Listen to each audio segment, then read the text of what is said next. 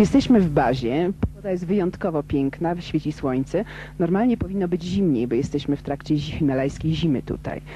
Yy, Przedstawię Państwu naszego kolegę, najmłodszego uczestnika wyprawy. Artur Heiser wychodzi z namiotu i zacznie się ubierać. Ma na sobie bieliznę typu Meraklon. Jest to specjalny materiał, który umożliwia przechodzenie potu. W ten sposób zapobiega się stykaniu warstwy y, wilgotnego materiału bezpośrednio z ciałem. Artur ma już przygotowane ubranie do wyjścia. Plecak y, z tym ubraniem waży około 6-8 kg. Jest to od razu ubranie już na duże wysokości, ale nie będzie ich ubierał y, od razu. Ubierze najpierw buty, bo tych nie będziemy zmieniać w czasie podejścia. No i teraz rewelacja ostatnich czasów, specjalne buty. Już dawno minęły czasy, kiedy chodziło się ze skórzanymi butami. W tej chwili nosi się podwójne buty. Właśnie ubiera wewnętrzny bucik, e, tak zwany srebrny bucik, który ma, jest przede wszystkim bardzo lekki, a poza tym ma świetne własności termiczne. I wkłada się taki bucik do plastikowej skorupy butów, e, w tym przypadku butów koflach. Artur udaje się do granicy śniegu. Jest to w tym przypadku umowna granica śniegu. My Jesteśmy w dalszym ciągu w bazie. Chodzi tylko o demonstrację. A teraz, proszę Państwa, znajdujemy się na umownej granicy lodowca. Dochodzi do niej nasz bohater. Tutaj następuje kolej na ubranie kolejnej warstwy odzieży. Plecak stanie się o parę kilo lżejszy.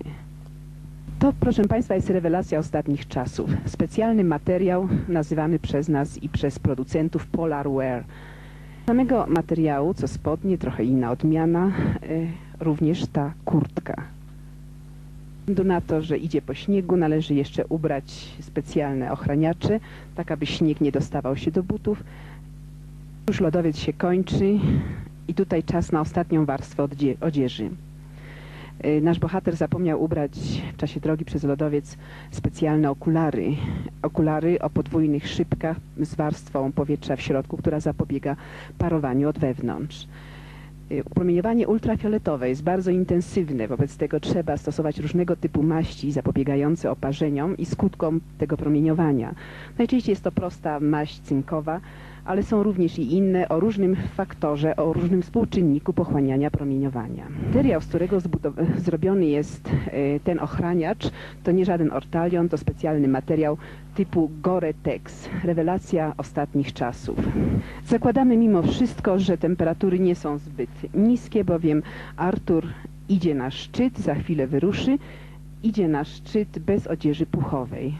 Taką odzież puchową można ubrać pod y, właśnie tę zewnętrzną warstwę odzieży goreteksowej. Bohater powoli zbliża się do grani szczytowej. Tutaj już nie ma żartów, wiatry są bardzo silne, decyduje się ubrać odzież puchową.